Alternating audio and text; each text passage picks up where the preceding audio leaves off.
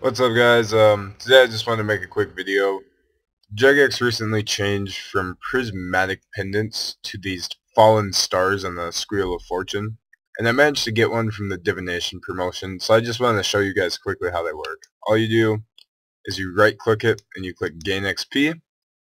And now you have 20k bonus Divination experience to use. And that just applies to your Divination and you use it up when you train the skill you won't be getting these prismatic pendants anymore. So now they're just merely cosmetic. And if you have them in your bank, don't worry, you can still get the experience. They just change it to stars for whatever reason. Just wanted to make a short video about that, guys. Hope you have a good day. Uh, thanks for watching.